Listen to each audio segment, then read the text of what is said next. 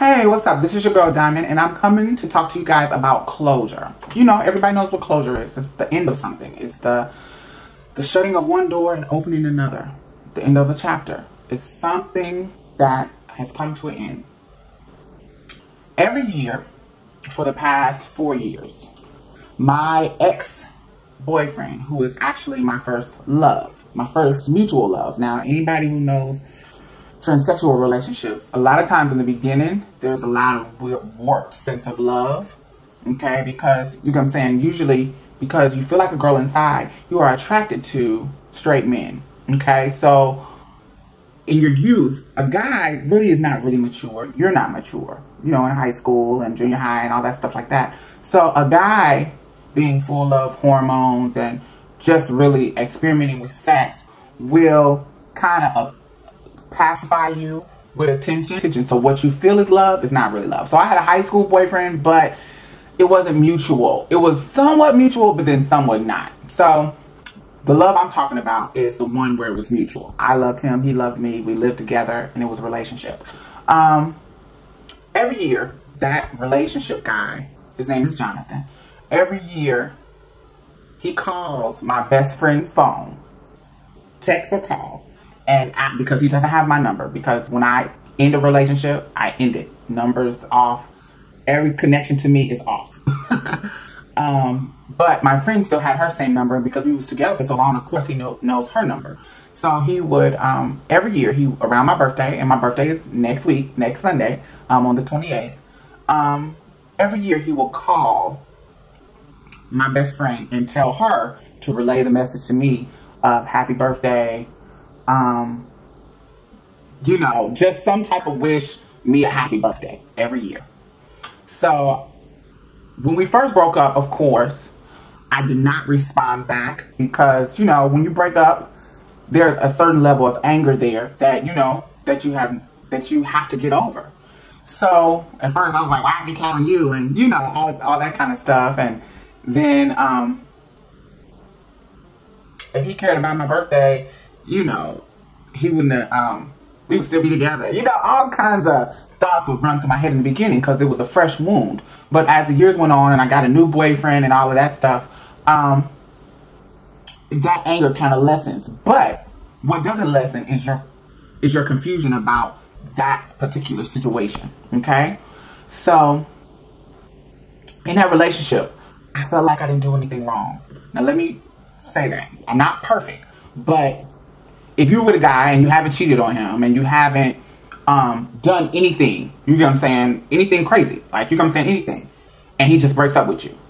Or something like that, you know that you didn't do anything wrong. Now, of course, you might have, you might not have um, picked up his clothes the way you like, the way he liked it, or you know something. You're not perfect in that sense, but as far as like the major things like cheating and lying and doing all kind of stuff, I didn't do anything wrong to him. I was honest and um, upfront about everything, and our relationship was going great. And he ended up cheating on me. So when that happened, I was so hurt, but I was in love with this dude. So I ended up taking him back. When you take somebody back after they um, violate that trust, the love kind of unravels because once you violate that violate that trust, it's like every little thing they do is becoming annoying. So anyway, this year he did his normal routine and got a hold of my best friend and gave her the message to relay to me. Except the difference in this year, because it's been so long, I relayed a message back. I told him thank you for the birthday wish and, you know, etc. We end up exchanging numbers. I gave him, I gave my friend, uh, my friend gave him my number. So we talked, we texted for about five minutes and he was like, let me call you. And I said, okay. He calls me and he commits to give me this heartfelt, thoughtful apology that included his explanation of everything that went on. Him being selfish, it not being about anything that I did do or didn't do. He just, he was in the situation and he just did it. Um, he regretted it. Even at that moment that it happened, he called me and then told me that he cheated on me and he so regretted it, even right then. So it was kind of like weird anyway. But now he's he went into this whole explanation about how ever since that had that happened, he didn't realize what he had in a girlfriend until he lost it. You know what I'm saying? Um, he didn't realize how shady bitches can be, how um, life can be, how chicks don't are not always in your corner. Um, now he's on parole. When he was with me, he had no criminal record. um, he's on parole. He has a baby mama that's trying to get him for child support. Of course, with me, we didn't have no children, and we were struggling and doing our thing, making our money. Um, but he gave me this heartfelt, thoughtful apology and explanation of all the stuff that went on. And I couldn't do anything but sit back and say, like it was such a relief because what happens is that when somebody does not admit their wrongdoing or they try to blame you for a situation, even though you know you didn't do anything wrong, you start to question like, what is it about me? Especially if it's cheating, because then it's like, why did you cheat? Cheat. What did I do? Was I not good enough? Did I not do this? Did I? You go through this whole self doubt thing in your mind that, you know, that um that eats away at your self esteem. That eats away at, you know, your whole being. And so, someone not admitting their wrongdoing is selfish, and a lot of times it happens. But I have been blessed in my life in the sense that I get closure. And this week was a closure of that relationship. It was still an open wound within myself. I was over him because I have a new boyfriend that I love and we got our own issues.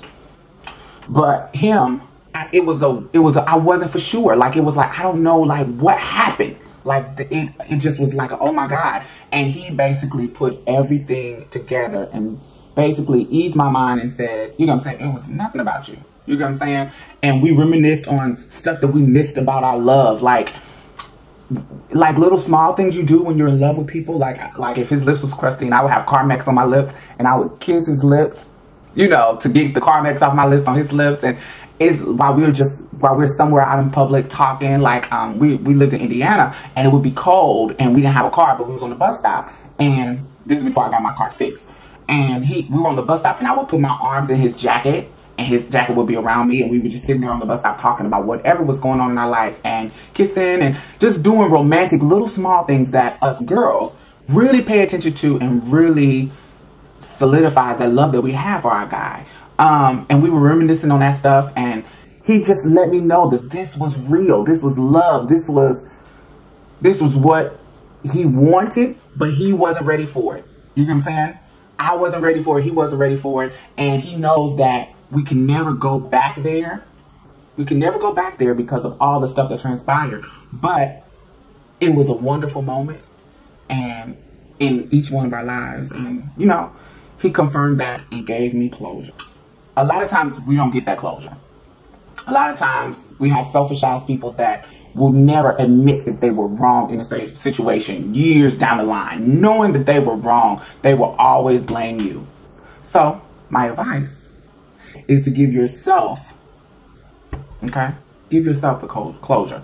If you know you didn't do right, admit it and move on from it. If you know you didn't do wrong, get over it and move on from it. You know what I'm saying? Do not question yourself. You know what I'm saying? Do not do any of that crap. Just let it go. Give yourself closure. And tell me what you guys think. This is your girl Diamond. Bye-bye.